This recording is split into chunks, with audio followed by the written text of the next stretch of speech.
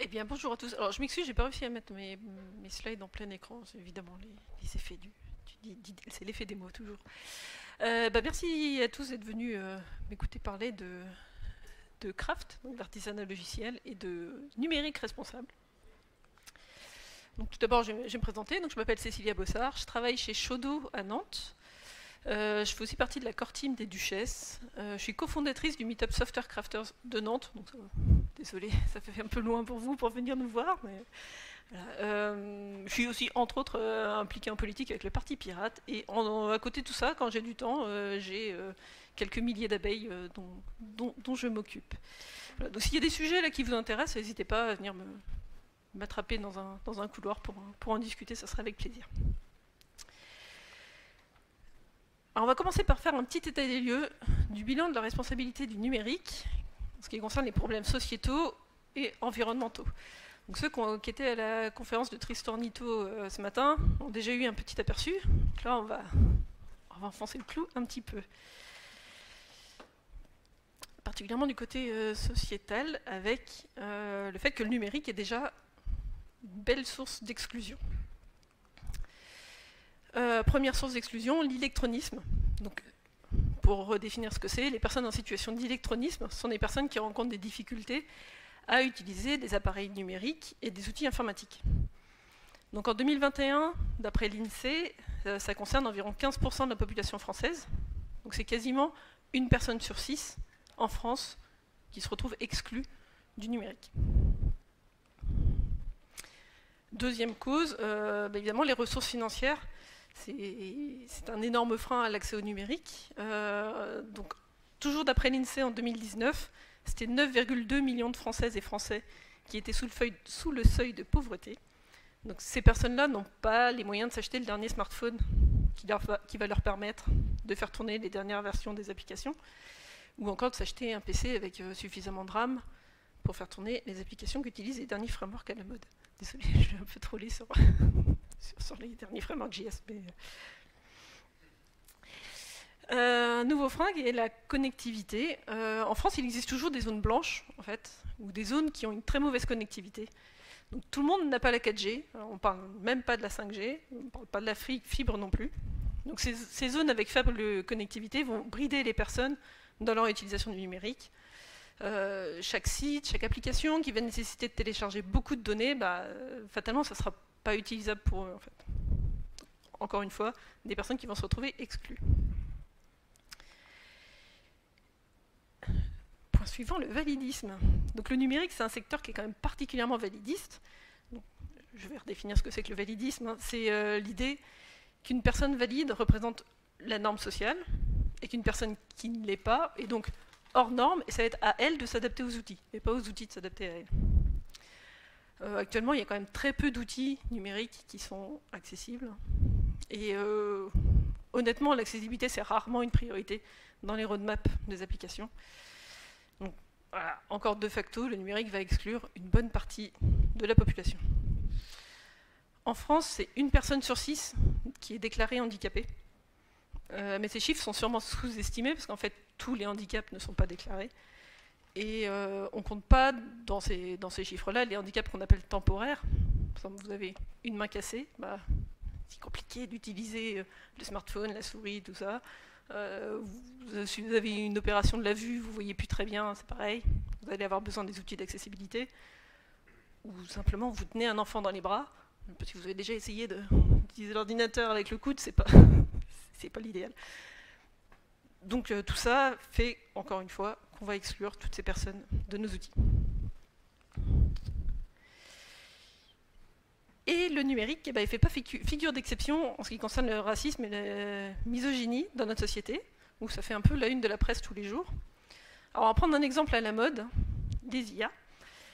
Donc les IA, elles se retrouvent entraînées sur des, des données qui sont souvent biaisées, et les IA vont se retrouver à avoir des comportements misogynes ou racistes. On peut prendre l'exem- l'exemple d'Amazon, qui s'est dit que ce serait une bonne idée d'utiliser une IA pour l'aider à faire ses recrutements. Effectivement, ça doit faire gagner pas mal de temps de faire le premier tri des CV par une, IA. Donc logiquement, bah, l'IA a été entraînée sur la base des salariés actuels d'Amazon. vous voyez, la, chute venir. Voilà, euh, bah, l'IA, elle a écarté systématiquement tous les CV féminins. Bon, ça s'est un peu vu. Donc l'IA a été remise au placard et ils sont revenus sur un recrutement plus traditionnel. Mais c'est assez symptomatique des, problèmes de ces IA. Au moins, celle-là, elle le mérite de mettre en avant le problème de diversité chez Amazon. Trouver un avantage. Et en, parlant de problème de diversité, euh, bah, on ne peut pas nier qu'on a un problème de, boys club quand même dans le numérique. Donc euh, il suffit de regarder les participants euh, aux conférences. Bah, là, dans la salle, je trouve que la proportion est plutôt pas mal, mais en général, c'est pas trop ça. Hein. donc les, conférences tech, les équipes de dev, euh, les femmes ici présentes, si vous êtes dev, euh, est-ce qu'il y a une autre femme avec vous dans l'équipe? Non, on est souvent le seul, les seules représentantes. Donc, dans le numérique, on a quasi exclusivement des hommes, et en plus, euh, en général, blancs. Donc le numérique, ça reste un secteur essentiellement masculin où les rares femmes qui s'y aventurent, bah, en fait, elles finissent par fuir à cause de la toxicité du milieu. Donc un rapport d'Accenture et Girls Who Code a révélé qu'environ 50% des femmes employées dans l'IT délaissent leur job avant d'avoir 35 ans. je sais pas si vous vous rendez Dans les autres secteurs, c'est plutôt 20%. Donc là, je pense qu'on est, euh, on est au top. Hein. Donc ça, c'était l'impact social. Donc le numérique, ça n'a pas qu'un impact social négatif, c'est aussi source de pollution. Donc ça va faire un peu de redite par rapport à ce que dit Tristan ce matin, mais pour, ceux qui n'étaient pas là, c'est pas, s'inquiétez pas, vous allez aussi avoir votre dose. Donc la première source de pollution, ça va être l'extraction de minerais. Donc on a besoin de nouveaux minerais pour produire de nouveaux terminaux, et cette extraction, en fait, c'est une véritable catastrophe écologique et humaine aussi. Pour donner quelques exemples, en Amazonie brésilienne, euh, les rivières sont durablement polluées par l'industrie minière de l'étain et du tantal. En Chine, dans, la région de Baotou, c'est l'air, l'eau et les sols qui sont pollués. Je ne sais pas si on peut réussir à polluer encore autre chose. L'air, l'eau, les sols, je pense qu'on est déjà pas mal. Euh, donc c'est pollué par d'importants rejets toxiques à cause de l'extraction des terres rares. Donc là, je vous ai donné deux exemples, mais en fait, il y en a partout sur la planète. Sauf bah, sauf chez nous, en fait. Sauf dans les pays euh, qui vont utiliser euh, ces, nouveaux terminaux. Donc, ce qui fait que nous, on ferme joyeusement les yeux sur ce problème, parce que c'est pas chez nous et on le voit pas. Et, euh, et c'est pas prêt de s'arranger. Et de plus, c'est à noter que ces minerais sont en quantité limitée. Qu'est-ce qu'on va faire une fois qu'il n'y en aura plus? La question est toujours, est toujours en suspens. Et euh, bah, l'impact de cette extraction de minerais, c'est pas seulement environnemental, mais c'est aussi source de conflits armés. Euh, à l'est de la République démocratique du Congo, le commerce illégal du tungstène, de l'étain, du, tantal et de l'or finance la guerre civile. Et euh, d'ailleurs, ces minerais sont, surnommés les minerais de sang. C'est pas pour rien. Donc, si vous voulez en apprendre plus, je vous conseille cette conférence de David Maenda Kitoko pour une écologie décolonial du numérique. Euh, par contre, euh, faites-le quand vous êtes euh, dans un état d'esprit serein, il y, y, a, mention de violence sexuelle, crimes de guerre, tout ça. C'est assez dur, hein, mais, c'est très important de, de le voir. Donc la fabrication de nouveaux terminaux, c'est extrêmement polluant. Et malgré tout, eh ben, les industries du numérique vont inciter les consommateurs à changer leurs appareils le plus souvent possible donc il suffit de regarder les offres promotionnelles hein, pour acheter le dernier smartphone à la, mode, ou les offres des opérateurs qui vous proposent d'avoir un téléphone à, bas coût si vous changez d'opérateur, alors que votre précédent fonctionne très bien en vrai. Et puis on a euh, l'obsolescence programmée de nos appareils qui va également nous forcer à les renouveler fréquemment. Donc euh, je vais faire un petit sondage rapide. Euh, qui parmi vous utilise un smartphone qui a plus de 2 ans? Plus de 4 ans de 6 ans. Est-ce qu'il fonctionne toujours avec l'OS d'origine? Euh, Voilà. C'est quand même très rare d'avoir un smartphone de plus de 6 ans qui fonctionne encore euh, sur son OS et qu'on n'a pas eu besoin de détrifouiller. Donc, nous, on peut changer l'OS de notre téléphone parce qu'on en a les capacités, mais, enfin, moi, si je, demande à, mes sœurs qui sont pas dans le numérique de changer l'OS de leur téléphone, euh, elles vont être en PLS. Enfin, c'est juste pas possible. Donc elles, vont simplement changer de téléphone. Et puis, une fois qu'on change de smartphone, bah, qu'est-ce qu'on fait de l'ancien? Oh, je, pense que je ne suis pas la seule, moi j'ai un tiroir chez moi où il y a tous mes anciens smartphones avec les chargeurs et tout, parce qu'on ne sait jamais. Euh, Mais euh, si on n'a pas ce tiroir ou s'il est plein, eh ben on va jeter notre smartphone en espérant qu'il soit recyclé. Donc un rapport de l'ONU de 2013 évalue que 75% des déchets électroniques échappent aux filières légales de recyclage. Et pour les déchets qui parviennent jusqu'aux filières, de recyclage, eh ben, leur design va empêcher de récupérer les matières premières. Donc il y a des nombreux matériaux euh, de ces technologies numériques comme le gallium, germanium, indium, tantal, terre rare, etc. Mais en fait, c'est presque pas recyclé. Donc qu'est-ce qu'on fait de ces déchets? Ben, on, les, on les entasse dans des, dans des décharges à ciel ouvert où bah, ça va continuer de polluer en fait. Ça, la boucle est bouclée, on, pollue. Puis évidemment dans les pays où on fait aussi l'extraction des minerais, comme ça, de toute façon ils sont déjà pollués. Donc même si la fabrication de, des terminaux c'est de loin la source la plus importante de pollution, de l'ordre de 80% quand même, euh, la consommation énergétique est aussi à prendre en compte. Green IT estimait qu'en 2015, le numérique français consommait environ 56 TWh. C'est pas très parlant. Hein. Donc ça représente à peu près 12% de la consommation électrique française. Et Negawatt estime que cette consommation euh, devrait augmenter de 15 TWh d'ici à 2030, donc soit faire un bond de 25% par rapport à 2015, et ça porterait le numérique à environ 15% de la consommation électrique. Donc c'est quasiment la moitié du secteur industriel, juste pour le numérique.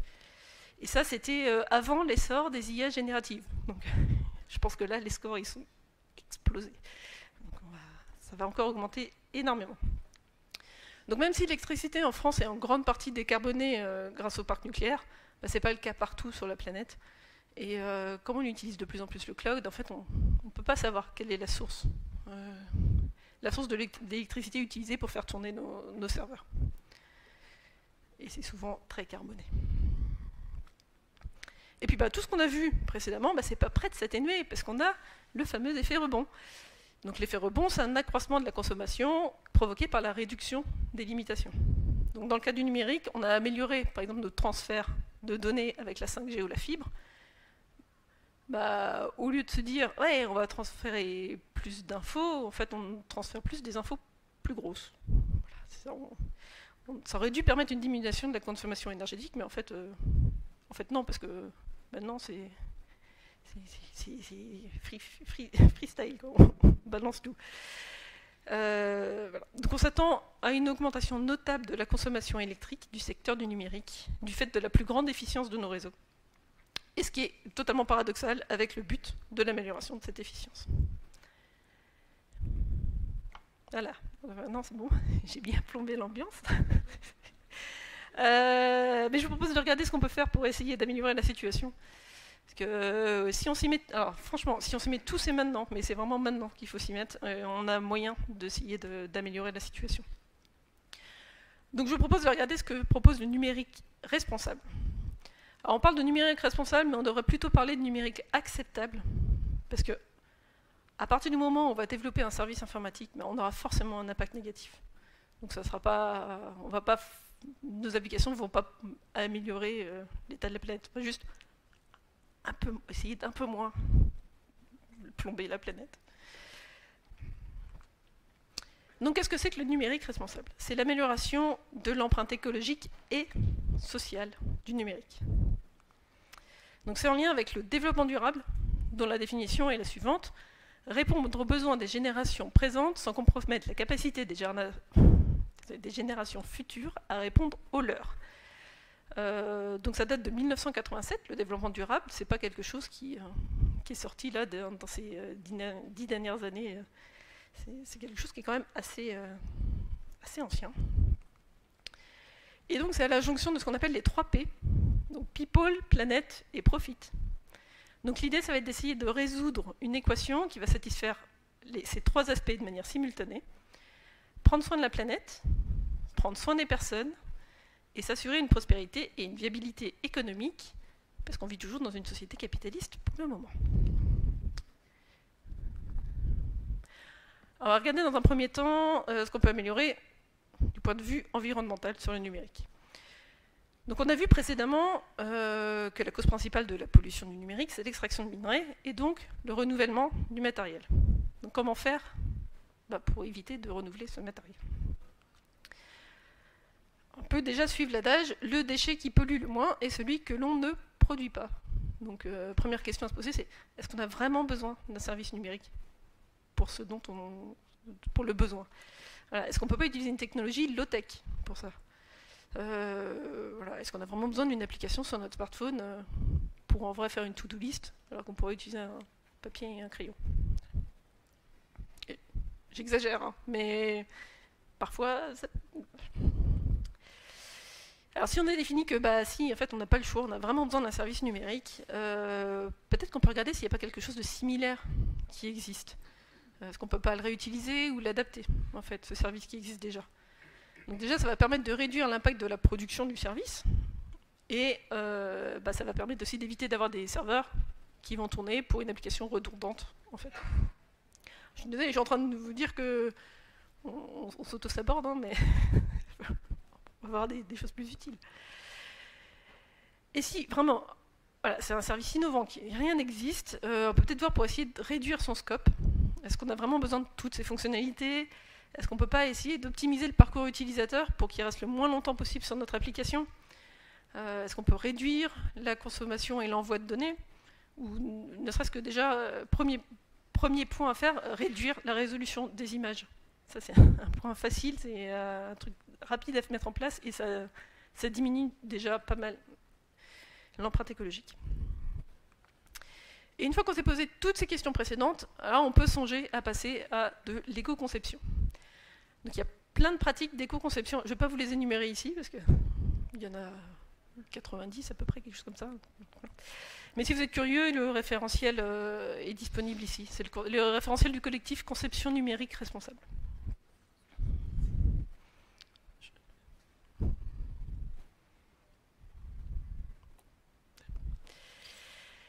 Et puis l'éco-conception, bah, ça ne s'arrête pas au développement de l'application, à moins de travailler sur un site euh, qui est euh, dédié à un événement très ponctuel et qui sera coupé juste après. Je pense que les sites euh, pour les JO, j'espère qu'ils sont coupés maintenant. Pas... Non Bon. Ils devraient l'être, j'espère. Voilà, en tout cas, il faut faire en sorte que le service puisse être utilisé le plus longtemps possible, sur le plus de terminaux possible, et éviter son obsolescence. On va regarder maintenant l'aspect social euh, du numérique responsable. Premier point, bah, l'accessibilité. Nos applications doivent pouvoir être utilisées par tous les êtres humains, quel que soit leur handicap, ponctuel ou permanent. Donc il faut vraiment penser euh, à concevoir les applications pour toutes et tous et intégrer l'accessibilité dès la phase de conception. C'est là où ça sera le, moins coûteux en vrai. vraiment y penser dès le début, parce que quand il faut faire de l'accessibilité après, c'est juste l'enfer. Puis lorsqu'on crée des applications numériques, eh ben, on a une responsabilité éthique et sociale envers nos utilisatrices et utilisateurs. Donc cette responsabilité, ça implique le respect de la vie privée, la transparence sur l'utilisation des, données, et le fait d'éviter euh, les biais et la manipulation, donc tous les fameux euh, dark pattern marketing qu'on peut trouver. Genre récemment, euh, quand on achetait un billet de train, il y avait un truc à la fin, c'était pas très agréable nos utilisatrices et utilisateurs sont des êtres humains et ils ont le droit d'être considérés comme tels et pas uniquement comme des consommatrices et des consommateurs. Et je remets une couche sur le respect de la vie privée parce que c'est vraiment, important, c'est vraiment un aspect hyper important du numérique responsable et ça va de pair avec, euh, l'éthique. Et puis pour créer des applications qui vont répondre aux besoins de toute la population, mais il faut que les équipes de conception et de réalisation soient le reflet de cette population. La diversité dans les équipes, c'est essentiel si on veut améliorer l'impact social du numérique et s'adresser au maximum de monde.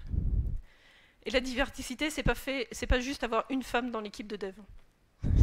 Ça va, au-delà. Hein. C'est avoir des personnes qui viennent d'origines sociales différentes, de cultures différentes, qui ont des modes de vie différents, des contraintes physiques différentes. C'est vraiment brasser le, le plus large possible. Mais essayez d'avoir des femmes quand même dans vos équipes, c'est pas mal. Et puis le dernier aspect, donc le dernier P du People Planet Profit, la dimension économique. et ben, la performance et l'efficacité des, applications, ça va leur permettre de fonctionner, quelle que soit la machine utilisée par les utilisateurs. Donc on va aussi leur éviter de devoir investir dans les nouveaux terminaux. je ne sais pas si vous aviez déjà compris que 80% de la, de la, pollution du numérique vient de la fabrication des terminaux. Je pense qu'il y a un chiffre qu'il faut que vous reteniez à la fin, c'est ça. Donc plus nos applications seront performantes, moins on va forcer la main à nos utilisatrices et utilisateurs pour changer leur machine parce que, ça rame, parce que ça marche plus. Et plus on va limiter la pollution. Et en plus, d'un point de vue économique, ben en fait, euh, nos applications vont pouvoir être utilisées par un max de personnes. Et ça, économiquement, c'est pas mal.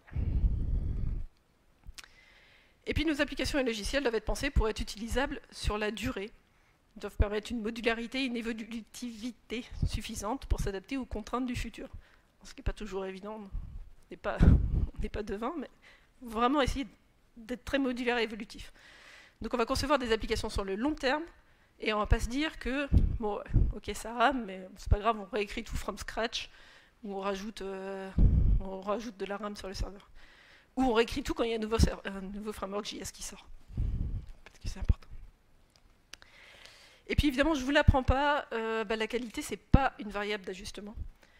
Pour que nos logiciels soient performants, efficaces et durables, il faut qu'ils aient été conçus de manière qualitative. une bonne technique qui permet de savoir si nos, nos développements s'inscrivent dans cette démarche de développement durable, ça va être de se poser ces trois questions, donc les trois U. Est-ce que le service est vraiment utile aux utilisatrices et utilisateurs? Est-ce qu'il est utilisable par toutes et tous, quel que soit le terminal utilisé? Est-ce qu'il est accessible? Est-ce que le parcours utilisateur est compréhensible? Et est-ce que le service est utilisé?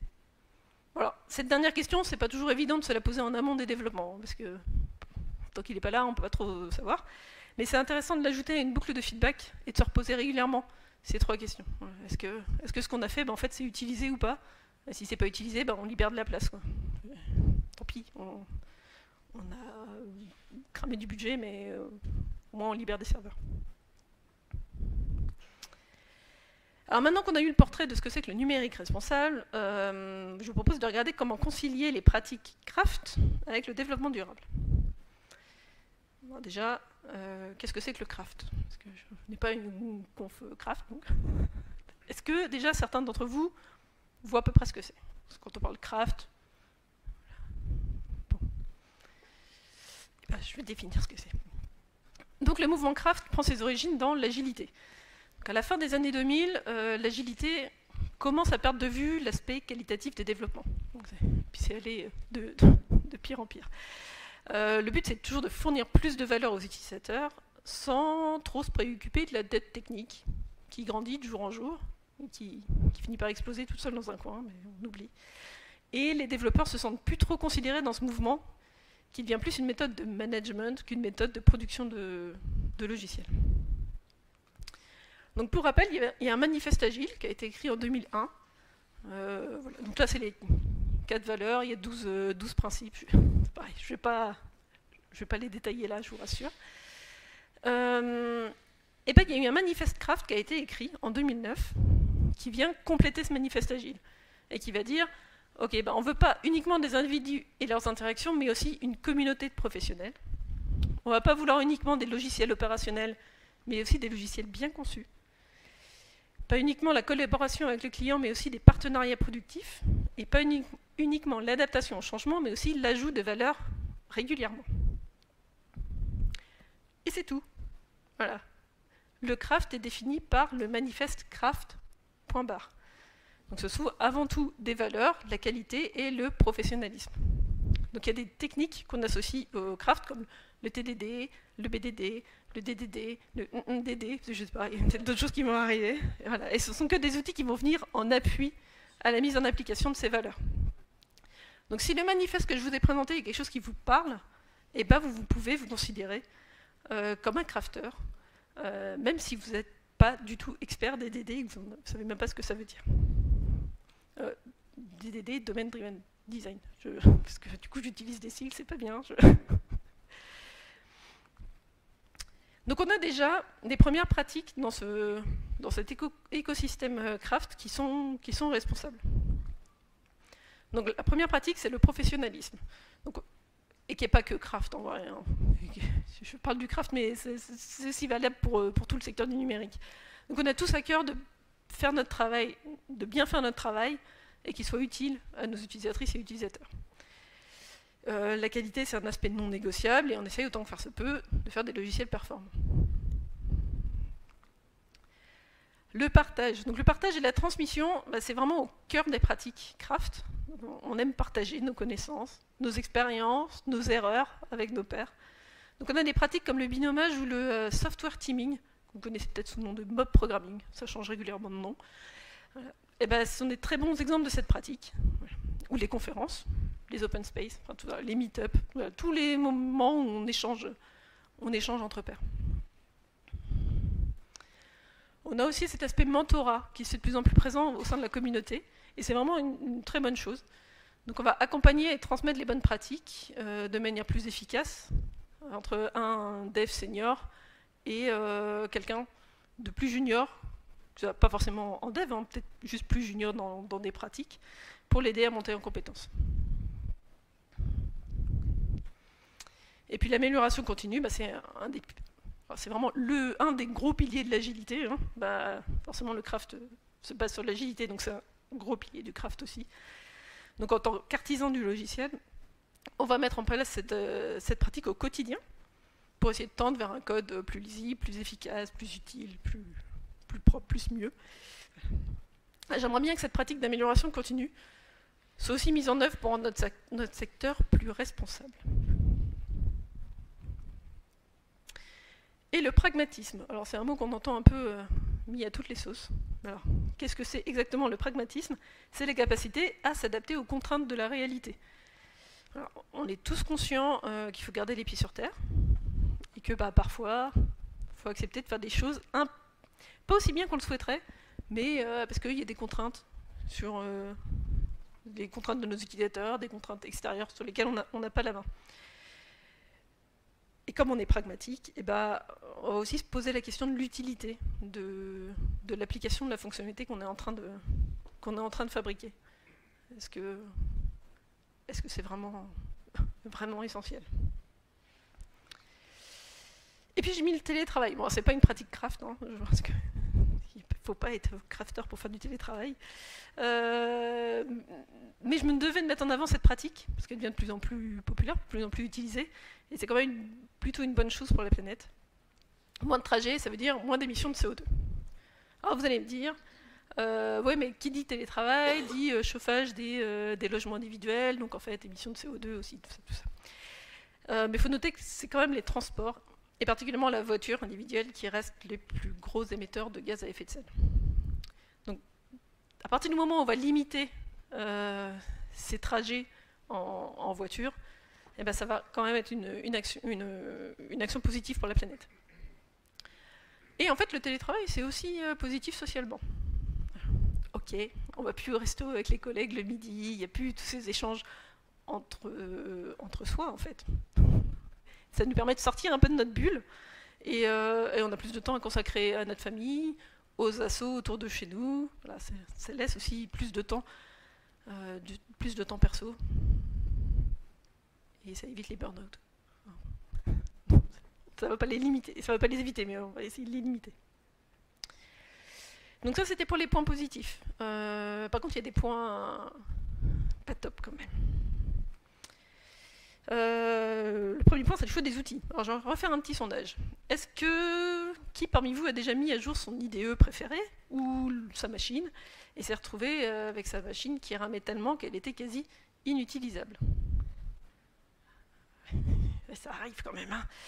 Euh, bah, c'est un problème auquel on est, on est quand même assez confronté si on ne fait pas particulièrement attention aux outils qu'on utilise au quotidien. Alors je ne vous dis pas de revenir à VI pour coder, c'est quand même un peu extrême, mais essayez de trouver des IDE un peu moins gourmands en ressources, ou alors euh, votre IDE préféré, mais vérifiez tous les plugins que vous avez installés, vous n'avez peut-être pas besoin de tout ça, en fait. Plus nos machines sont performantes, et plus nos outils deviennent gourmands, en fait, parce qu'ils ont de la place, et ils s'étalent bien. vérifiez, est-ce que vous utilisez vraiment 100% des fonctionnalités de vos IDE Essayez de trouver des outils avec lesquels vous êtes efficace, essayez de les rendre plus léger. Et dans ces outils, j'inclus aussi les IA génératives, qui deviennent maintenant bah, un outil euh, quotidien euh, d'aide au développement. Alors, qui parmi vous utilise euh, Copilot, ChatGPT ou une autre IA pour l'aider à coder? Ouais, quand même. Est-ce que vous connaissez leur impact écologique? Ouais. Donc pour info, l'entraînement seul de l'IA pour GPT-3 a émis 502 tonnes de CO2. Complètement abstrait ce chiffre, on ne sait pas. Euh, c'est plus de 205, vols aller-retour entre Paris et New York.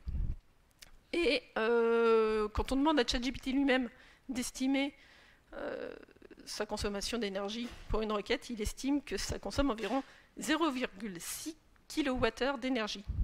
Donc c'est des émissions carbone moyennes de 204. c'est l'équivalent de 2 km en voiture à chaque requête. Voilà. Et euh, donc c'est 285 grammes de CO2 et une requête Google c'est 7, grammes. Donc peut-être qu'il faut songer à réserver l'utilisation de ces IA uniquement aux situations extrêmes, quand il n'y a pas d'autres solutions qui ont été trouvées, et pas juste faire tap, tap, tap, tap pour que ça génère des getters et des setters. Donc de la même manière que le choix des outils doit être réfléchi, eh ben, le choix des technos aussi. J'imagine bien que quand vous commencez un projet, vous réfléchissez euh, aux technos que vous allez euh, utiliser. J'espère.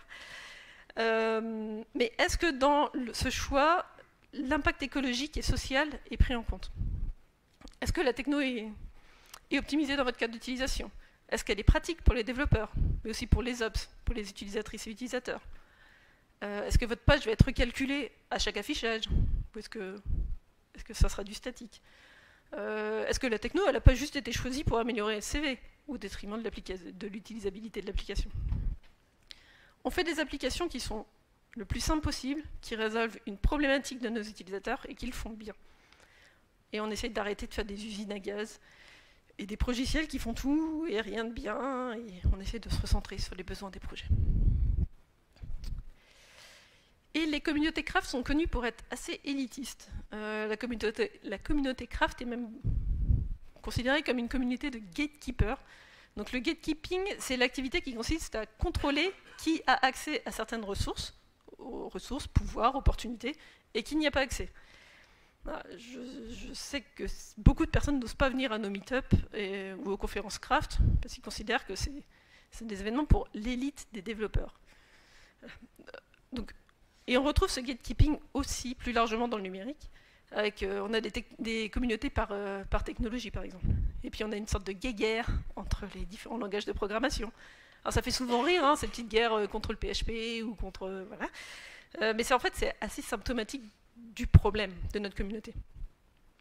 Et puis on peut noter aussi que les événements pro qui ont lieu en dehors des heures de travail, bah, ça pose aussi des problèmes, en fait. Tout le monde ne peut pas se permettre d'y aller que ce soit pour des raisons de garde d'enfants, ou d'autres contraintes familiales, euh, ou, tout simplement parce que les personnes souhaitent garder un équilibre vie pro, vie perso. Donc on va mettre à l'écart ces personnes non privilégiées, et, euh, c'est assez dérangeant en fait. Est-ce que c'est vraiment ce qu'on souhaite? Il faut peut-être qu'on remette en question notre façon de communiquer et notre accueil pour être plus ouvert envers tout le monde. Moi, personnellement, je crois profondément dans les valeurs du craft, et ça me fait vraiment mal au cœur de voir... Euh, l'image que peut projeter la, communauté, et même la communauté du, numérique plus globalement. Et puis on ne fonctionne pas tous de la même manière. Donc on a certaines personnes qui apprennent bien en lisant des livres, et d'autres ont besoin d'une pratique concrète ou d'avoir des vidéos, des tutos vidéo. La, communauté craft, prône beaucoup la lecture de livres pour apprendre des nouvelles techniques ou les bonnes pratiques. Euh, mais je me pose pas mal de questions sur bah, comment font les personnes dyslexiques ou les personnes neuroatypiques, celles qui n'arrivent pas à apprendre dans les livres? Eh ben, elles se retrouvent de facto exclues parce qu'elles n'ont pas pu prendre connaissance de ces livres de référence. Je pense qu'il faut vraiment qu'on essaye d'être plus ouvert et euh, d'apporter de la diversité, toujours, dans la communauté. Et en parlant de livres de référence, eh ben, la communauté craft, comme toutes les communautés tech hein, d'ailleurs, a une fâcheuse tendance à s'orienter vers du dogmatisme. Alors on a parfois l'impression que le DDD ou la programmation fonctionnelle, c'est devenu une nouvelle religion et qu'il y a point de salut au-delà. On a même une Bible, Clean Code. Euh, c'est vraiment un, bon exemple. Et alors les devs qui ne l'ont pas lu, ils n'ont même pas vu au chapitre, malgré le fait que la personne qui a écrit Clean Code est quand même une personne particulièrement toxique.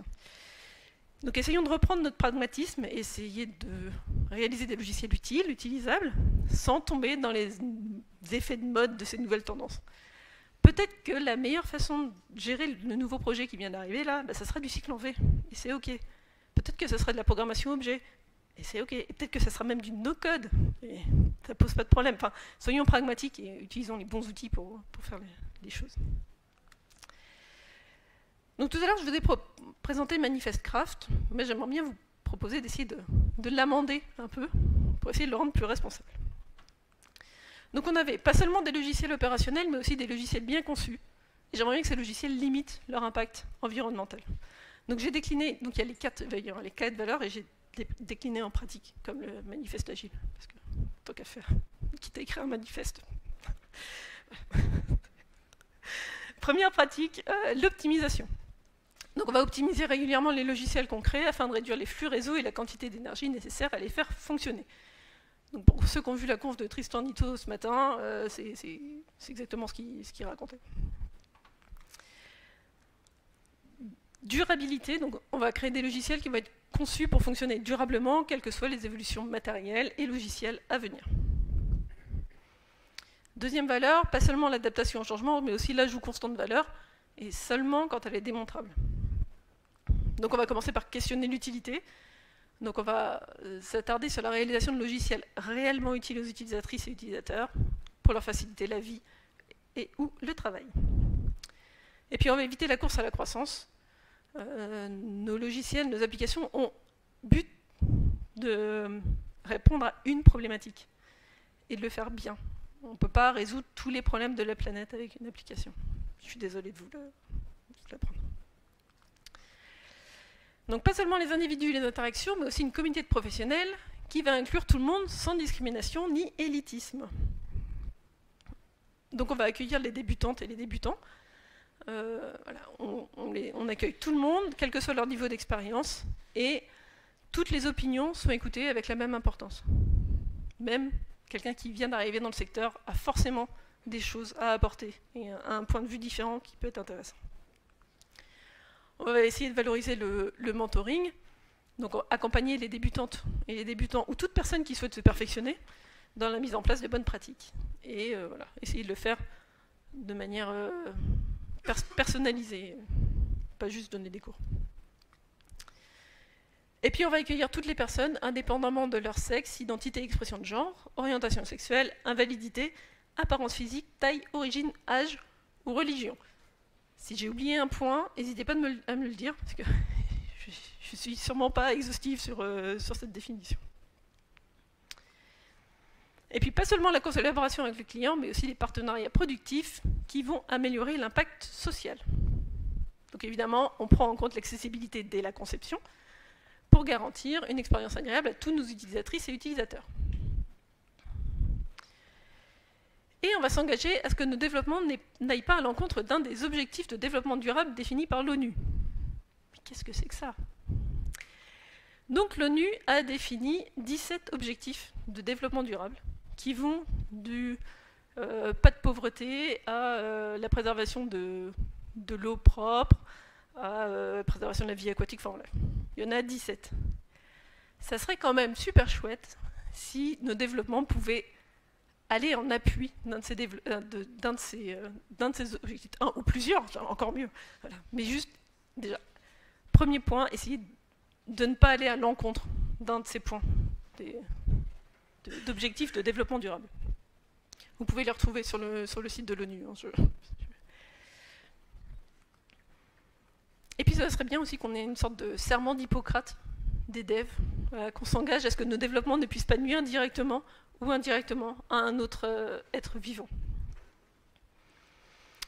Pour conclure, en fait, adopter une démarche craft, c'est un peu apporter du care dans notre métier. Alors c'est le moment où on va faire plein de petits cœurs, c'est le moment chouette. Et eh ben, c'est prendre soin du code et de nos pratiques de développement avec la mise en place euh, de, de pratiques de développement qui vont permettre d'augmenter la qualité et l'évolutivité de notre code. C'est aussi prendre soin de ses collègues avec le mentoring, le partage, le binomage, la qualité, parce que c'est jamais agréable d'arriver sur un code qui n'est pas qualitatif après quelqu'un. c'est aussi prendre soin de ses utilisateurs, donc toujours avec la qualité et la volonté de faire des logiciels utilisables et utilisés. Et, est-ce qu'on pourrait aussi ajouter euh, que c'est du care pour la planète avec les notions d'éco-conception et prendre soin de la société en général? Est-ce que vous êtes prêts à y aller? Ouais Et voilà, c'est terminé. Donc, est-ce que vous avez des questions? Questions avec un point d'interrogation, je précise.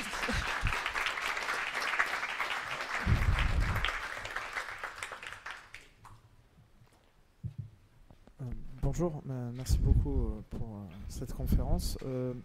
alors tout à l'heure on disait Craft implique DDD, TDD et tout. Le... Moi j'appelle ça tralalou aussi. mais honnêtement, moi aujourd'hui, de mon côté, je milite pour que qu'on ne se dise pas que un bon développeur doit forcément appliquer ces principes-là. Voilà, on, a d'habitude, on y associe. Si on dit on fait pas TDD, on peut paraître aussi out school. Donc il y a les deux équilibres, euh, enfin un équilibre à trouver entre les deux. Et c'est quoi votre euh, opinion par rapport à ça du coup? Oh, Pour moi, euh, un bon développeur n'est pas obligé de faire du TDD. Il n'est pas obligé de faire du TDD. Il n'est pas obligé de, enfin, c'est ce que je disais avec le pragmatisme. Enfin, faut utiliser les outils qu'on a. Le TDD, le, enfin tous les outils du craft, c'est juste un outil dans, dans cette grande boîte à outils qu'on a en tant que développeur. Il faut juste savoir utiliser au bon moment le bon, de manière à, ce qu'on soit efficace et qu'on arrête de cramer la planète. alors franchement, euh, je ne jette pas la pierre aux gens qui ne font pas de TDD, je ne jette pas la pierre. Enfin, c'est pas... essayer de faire des tests quand même, c'est pas mal.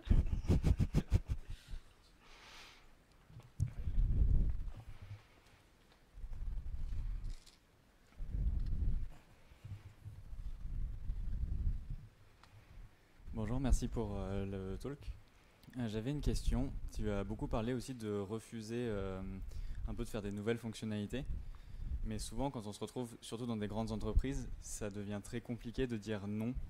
Parce qu'on est plus en position de développeur et du coup, on n'a pas forcément la position de chef de projet et on n'a pas forcément le moyen de dire non nous-mêmes. Mais est-ce qu'il y a des leviers qu'on peut utiliser nous en tant que développeurs pour essayer de convaincre justement de dire non à ce moment-là? J'avoue que c'est compliqué. Euh, moi, en tant que dev senior, j'ai peut-être en plus plus de, plus de poids quand je, quand dis mais est-ce qu'on en a vraiment besoin euh, Je pense qu'il ne faut pas, faut pas hésiter à, dire ce qu'on pense, même parfois on, se prend des claques. je suis désolée, j'ai pas de, j'ai pas de, de, solution là, tel quel, mais faut, faut vraiment pas hésiter à, à dire ce qu'on pense Surtout sur ces, sur ces questions-là, en fait. Étonnamment, quand on, quand on explique euh, l'impact que peuvent avoir les... La plupart des, gens ne sont pas au courant, en fait, des impacts euh, écologiques et sociaux du numérique. Et parfois, juste en leur expliquant bah, ce que ça va engendrer, parfois ça fait... Ça marche pas, hein, mais parfois il y a une sorte de déclic, et euh, ça peut faire, faire avancer les choses.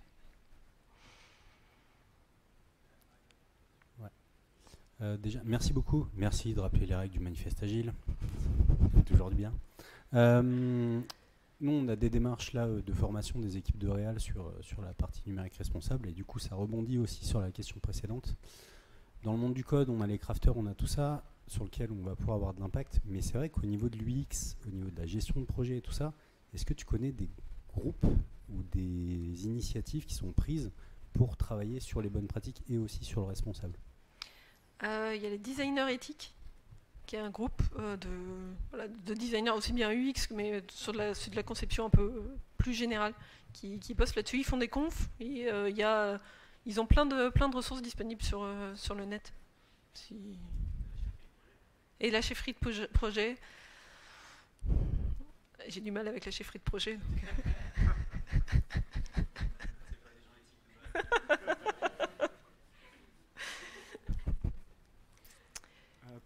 Merci pour la, présentation. Pour rebondir un peu sur la question du euh, c'est difficile de dire non, j'ai l'impression que quand je suis seul à dire non, c'est super facile d'être évacué comme euh, ouais, mais c'est encore machin qui n'est pas raisonnable. Et que Juste si on est déjà deux, euh, c'est plus facile de créer un mouvement. Je me demandais si tu avais des, des idées pour, pour lancer des mouvements. pour quoi. lancer le mouvement.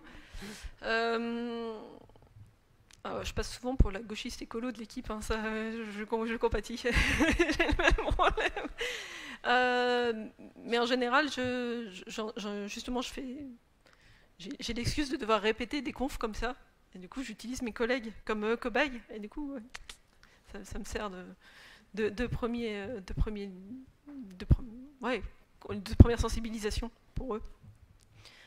Et euh, j'ai essayé de trouver des personnes qui sont possiblement plus, plus sensibles. Alors, il suffit d'une discussion à la machine à café.